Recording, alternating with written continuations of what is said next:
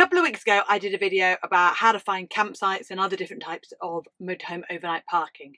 And in that video, I mentioned the terms CS and CL sites. Since then, a few people have asked me exactly what a CS and a CL site is, what the difference is, how they differ from normal campsites, and also how they differ from aires in Europe. So today, I'm going to answer all of those questions for you. I'm Kat and welcome to Wandering Bird. On this channel we share tips and tricks to help motorhome and campervan owners make the most of their time on the road. And today's tip is helping you understand all about CS and CL sites. Now, if you've already used them, you know that there isn't actually a lot to understand. But like anything in motorhoming, that's easy to say, but if you're sitting there trying to figure it out, struggling how you book them or how to find them or anything like that, it can be quite confusing. So let's cut through the mystery surrounding CS and CL sites. Let's start with the basics. CS stands for certified site, CL stands for certified location. And they are pretty much identical on how they work. They are both small campsites, usually with a maximum of five pitches that campervans, motorhomes, and caravans are all able to use. They often have very basic facilities, so you can generally get some sort of electric hookup, water point, uh, waste disposal, both for grey and for black.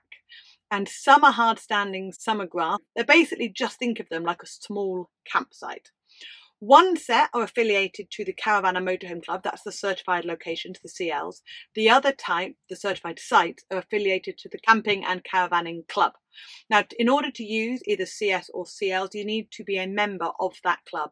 And generally, when you phone up to book, you'll have to give your membership number. Don't confuse CS and CLs with independent sites, those that aren't affiliated to either of the big clubs. You can still get independent sites, which are small. They might only have five or six different sites, but that doesn't mean they're a CS or a CL. And again, we'll talk about them a little bit more very shortly. But let's go back to what a CS and a CL site actually is. So, assuming you're a member of the big clubs, you will be able to find them on the club's website. Both clubs like to hide them. They like to make it really difficult for you to find them and it drives me nuts. We're members of both clubs and I find them both, both their websites, really difficult when you're trying to find out where the CS and the CLs are. The site that we use in order to find out just where everything is, is Search for Sites. Because CS and CL are only in the UK, and I believe actually some in Southern Ireland, so let's call it UK and Ireland based, you don't tend to get them elsewhere in Europe. And because they are just a UK island thing, Search for Sites covers them really, really well. What we tend to do, because they are our favourite type of campsite, she says, I'm sitting on a massive campsite at the moment, which is quite rare for us, we tend to prefer the smaller, quieter sites. And the really nice thing with the CS or CL sites, because you've only got five pictures, you generally get well away from any one from any big groups or anyone who wants to be noisy. Noisy kids aren't so prevalent on them because there aren't so many facilities for children. There might be a field that they can play in, but they don't tend to have climbing frames or kids' playgrounds or anything like that. Don't forget, these sites are independently run by the owners of the land, and they tend to be people who've got a bit of extra land, so farmers or big estates sometimes, or even some attractions can have a CS or a CL site, but they are run by people. You won't find an office and a reception there. They're run by the people who generally own the land. So they don't put in huge amounts of facilities. You're not going to find a clubhouse or a restaurant, although if you plan it well, you will find a pub as you go down the road. And now those are the best types. But we like the quietness and the out of the way of them. It's basically just a safe parking place for us to park up the motorhome and then go off and explore on our bikes or with the car. So you don't tend to get the big families or the people who want a lot of entertainment on nightlife and stuff. They tend to be much smaller and quieter. Not all of them allow kids and not all of them allow dogs because they are farms a lot of them are farmed, not all of them, of course, but a lot of them are farmed or they've got a lot of livestock on. Some of them don't allow dogs at all, and a lot of them insist that dogs must be kept on lead. So they don't have dog walks or dog runs or anything like that.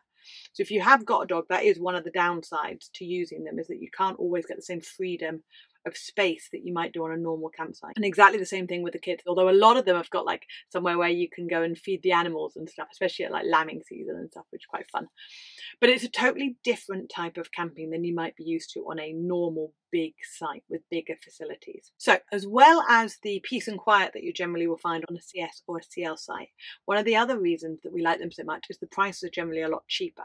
Whereas you might pay 30 35 pounds for a couple with a motorhome and a dog on a big one of the club sites. On a CS or a CL site you might pay only 15 or 20 pounds for an evening. So it's a big difference. It's about half the price. Um, and if like us you don't tend to use all the facilities on a bigger site then they're absolutely perfect now, as I touched on briefly, most of them have got electric hookup. They will have a water standpoint. You probably won't get water on each pitch, but you'll get somewhere in a communal area where you can pull up your van and get water. Also somewhere where you can dispose of both grey and black waste.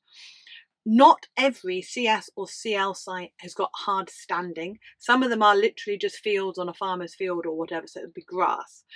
And although that might be fine in the summer, if you are going to use them throughout the year, and many of them are open throughout the year, they're not all just summer campsite. Bear in mind that the fields can get very boggy. You can get a lot of mud and you might even get stuck. So be very careful when you're doing your research on which ones you want to use throughout the year. Hello, sweetheart. Hello, sweetheart. Hello. There are a couple of big downsides, certainly from our point of view, on using these smaller sites. For start, you've got to phone and book directly with the owner, which is fine. Nobody minds picking up the phone. But don't forget that they're not sitting in an office at a reception at a site waiting for your call. They're running a farm or livestock or whatever business they happen to be running. So it's often really, really unlikely that you'll get them when you phone and want to book. And you have to leave your name and your number and also why you're phoning because their phone number is not just for the campsite. And then you have to wait for them to get back to you. And it can be frustrating, especially if you're like us and you tend to do sort of last minute trips. You're like, I want to go tomorrow and it's quite tough to know who's got space, where you want to go, who can fit you in, especially as some people may not go back to you for a day or so. So we find that quite frustrating. I wish there was a way of booking them online. And also the other downside is it can be quite restrictive on your arrival times.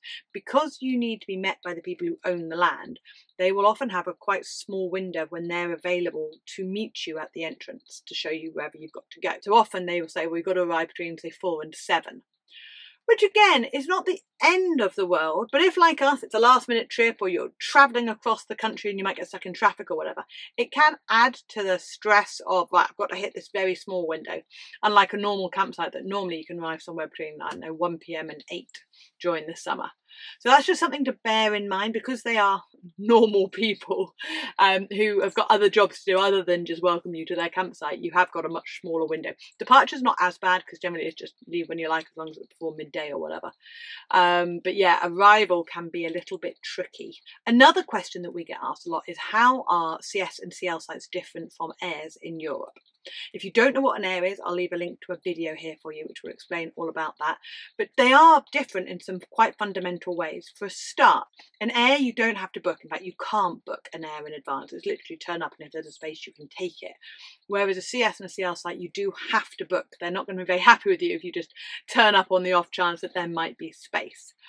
So that's probably the biggest difference. Again, the price is slightly different. An aire is generally going to be cheaper than a CS or a CL site.